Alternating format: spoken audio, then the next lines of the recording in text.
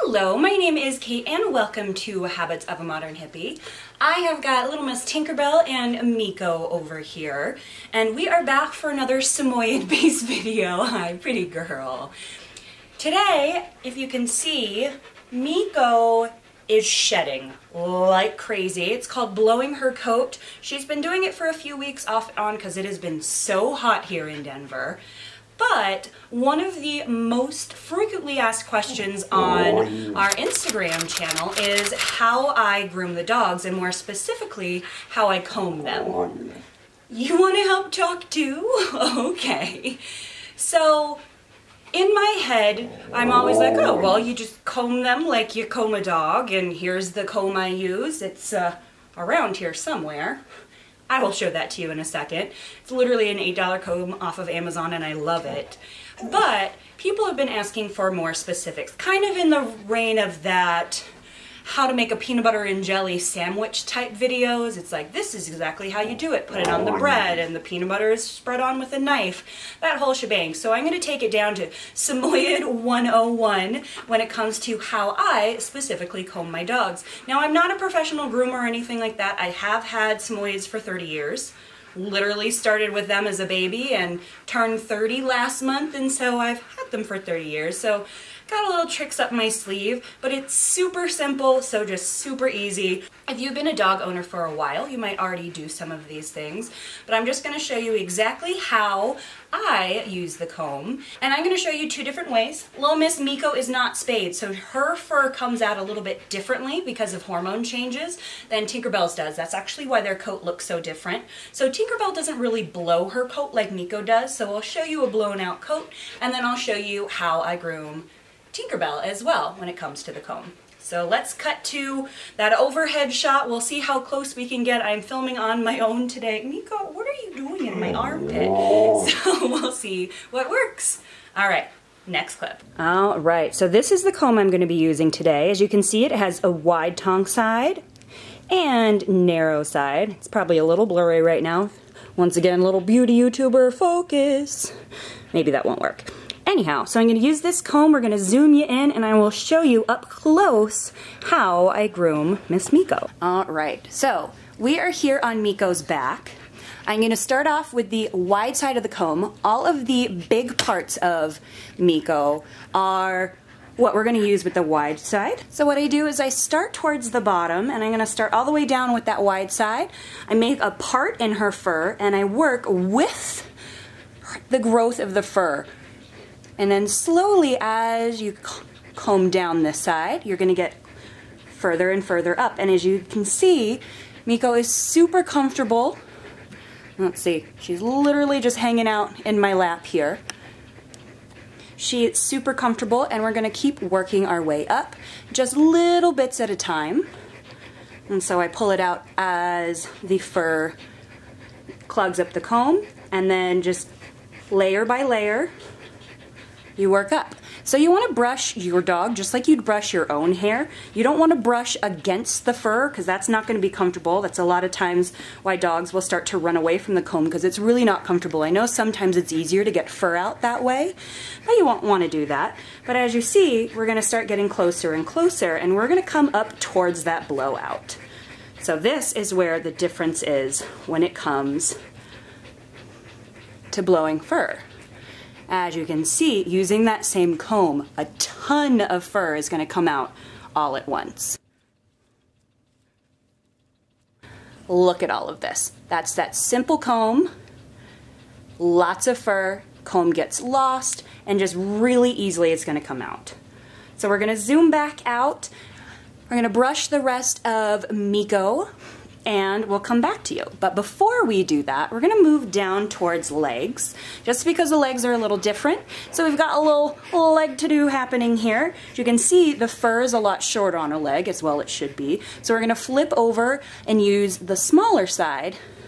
And her legs aren't shedding that much today, so we're just going to slowly, once again, working from the bottom up, little by little, working up the leg. And you're gonna see it comes out.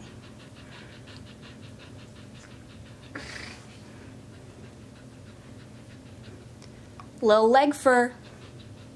there you go. All right, so we've moved over and we are gonna start brushing out the rest of Miko. I'm gonna speed this up, but if your dog is not super comfortable just hanging out, Miko will fall asleep on my leg, things like that, um, one good way to kind of trap them without putting too much pressure on your dog is to just use a leg and you use a leg over them. So they know they're not supposed to move but there's still plenty of space in between your legs so you're not smushing them either. So it gives them some protection some stability without smushing them which is once again uncomfortable so you don't want to do that with your dog. But for Miko we're going to start from the back once again. We're going to start all the way down large side of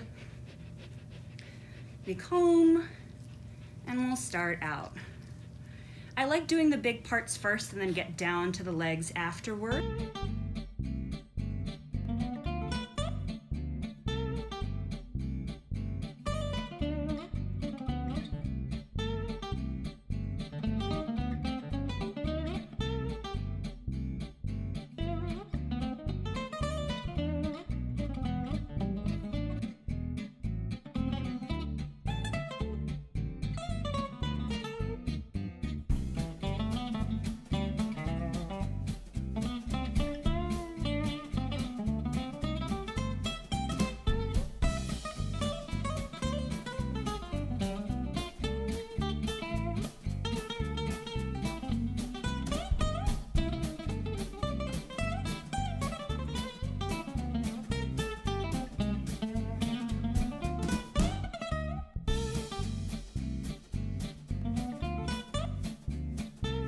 All right, now that we have one side done, this is the side that we have not finished. So as you can see, it is that little bit woolier. We're gonna work onto her belly before doing the other side. So the easiest way I found to do this is to manhandle your pup between your long legs. Sorry for the crotch shot. Her head is gonna be up towards you, so you get lots of loving.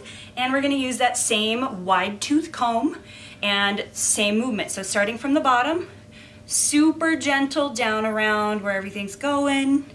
And we just slowly make your way all the way up the body.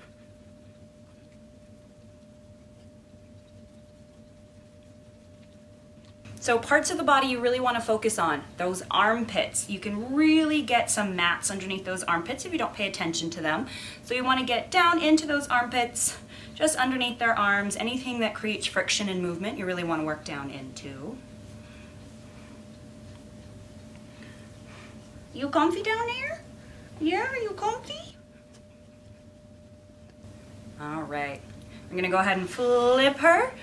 Super quick speed through this side and I will come back when we're finished.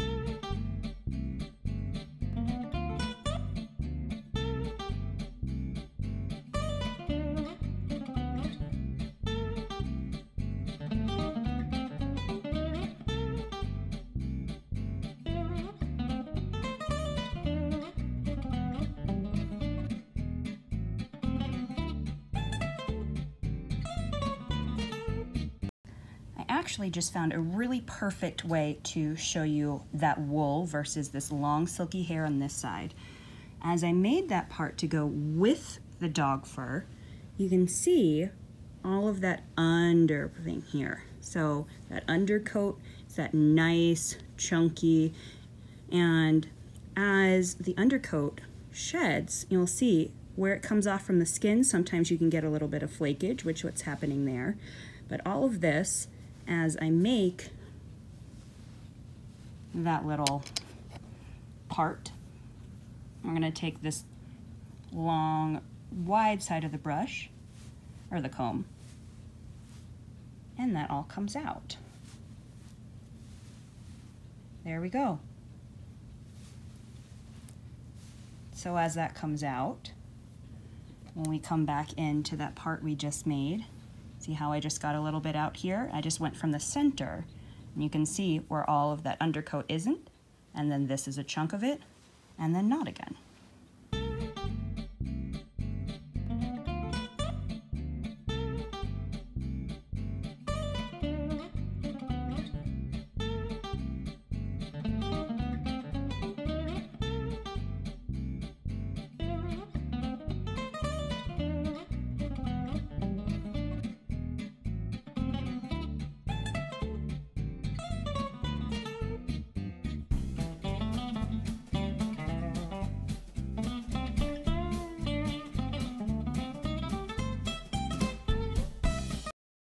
Another place you want to focus on is behind those ears. So this is another place that you can get super matty because a lot of times they'll have a little extra oil back there. So you want to really get nice and deep down underneath those ears. And with Miko, when you're blowing a coat, you can see even her little ears shed. Super funny. All right, after the whole dog is nice and combed, you wanna work down, I always do this for last so I can wash my comb afterward because you don't wanna put, if there's any fecal matter stuck in here, anywhere else on her body. So body first, then legs, then rear. After you've brushed the tail, you wanna flip up and you, once again, you wanna start from the inside out. So I don't do a sanitary trim for anything. I can see that there's a dog fur on the lens. There we go. So I don't do a sanitary trim for my dogs. Um, they kind of fluff out. So I don't have any experience with that. But when it comes down to grooming around there, once again, you want to start in just nice and gentle. Once again, going with the hair growth and you just don't want to contaminate anywhere else on the pup. So super gentle all around there. And as you can see, because their anus is round, the fur kind of grows in all different directions. So as you're going down, you want to follow the hair grain. And so sometimes she's got a little bit of fur that grows up and around. And you just want to get all of that shed out from there as well. After everything is complete, give them a big snuggle, and generally speaking, I give them a treat too. Are you nice and comfortable with all of that fur going? Hi, yes, it is your turn, Miss Tinkerbell. We'll show everybody how to brush you too, huh? Everybody. Hi. You're such good puppies. All right, no, don't walk through it. Oh. Okay, so, ugh. Tinkerbell, right here, is the same concept. No, Miko, out of here. Tinkerbell's the same concept. She is not gonna have the same undercoat that Miko does because Tinkerbell is spayed, a pretty girl. But we're gonna do the same little thing. So I'm just gonna show you a little patch of Little Miss Tink. So we're gonna let her stretch out. Are you gonna go upside down? And so once again, even though her fur is longer, Miko, you gotta get out of here, come on. Even though her fur is longer, we're gonna do the same thing. We're gonna come down into that fuzz, Start near the bottom with a little part, hold on to the top, and then slowly, using that wide side of the comb, work our way in.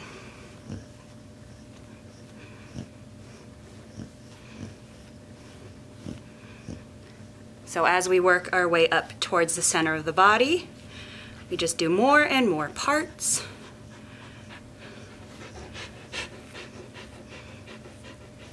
So you'll see the stuff coming out of Tinkerbell looks a little bit different than what Miko comes. So you'll see Miko are a little tufts and a little fluffier. Tinkerbell's hair is a little bit more wiry. Still incredibly soft though. It's when I say wiry, it's just uh, it's not as like fluffy. Hi, pretty girl. So same thing, starting from the bottom and up the belly, moving through parts. So this is Tinkerbell's longer fur. You're gonna see it looks a little bit different than Miko's because the longer fur is longer, obviously. And then the undercoat, while there's still an undercoat, is not as completely defined as Miko's was. So using that wide comb, I'm gonna slowly come down in there and Tink's not shedding nearly as much. But same thing, working down to get that fluff underneath. And so this is that fluff. You'll still be able to see the difference and you'll see where you need to brush or comb is that same kind of dense fur. Most of hers down here is okay. Let's go ahead and feel around and see whereas there's a, there we go. This is a patch that needs to be combed out. So you can see as my fingers are going through, it's a lot denser at the bottom. We're gonna come down through here and you can actually see that there is some dense fur in there that looks like it's about ready to come out. So we're going through.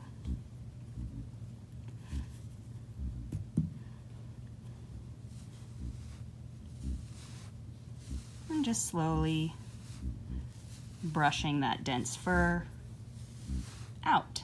And that's what's coming out. So not nearly as puffy as Miko, but same concept. I'm going with the growth of the fur. And even though it's longer, it does the exact same thing. Oh, look at these good puppies. Look at them. Look at them. Look at them. Mm. Look at this puppy. Look at this puppy. Look at her. Hi. oh, squish, squish, squish. Squish, squish, squish. All right, so we have Miko all the way fluffed out. She's probably still gonna need a few more large groomings in the next couple of days as the rest of that fur comes out. But Tinkerbell is nice and done. No, I don't have to do this every day. Yes, you're gonna have to do this every day when your pup is blowing their coat, like Miko is. And you do have daily maintenance. Generally speaking, I spend maybe 15 to 30 minutes, depending on what their coat is looking like that day, each day literally each and every day to brush these dogs. I get so many DMs and comments and things saying, oh, well, my dog is matted, their fur is all the way down, um, stuck down towards the skin. Should I just shave them? Absolutely not. Um, there are very, very few circumstances in which that you want to shave a Samoyed. That is very specific to like rescue Samoyeds, things like that. If you have a Samoyed, take care of it, please. I love these girls, but they are a lot of work. So just make sure that if you're going to get a Samoyed, you know what's going to go into that. Um, that being said, if you find a really bad mat, coconut oil this wide tooth part of the comb and time is going to help with that. So you can look into that to start getting some of those mats out. Hi. Are you just giving me lots of love? I love you too. If you have any more questions, feel free to reach out on Instagram. I do pull questions from Instagram and make videos about them here. I also do question and answers in the Instagram stories often to answer your questions. I get so many DMs that it's really hard to respond to everybody, especially when it's the same question over and over again, which is where a video like this comes from. But if you liked this video, make sure to give it a big thumbs up. If you haven't already, hit that subscribe. Are you hitting subscribe? Great job. Hit that subscribe button down below and ding that bell so you can see when we are going to upload content next. But we will see you again soon. Bye. Can you girls say bye? Miko's like, nah. There we go. Bye.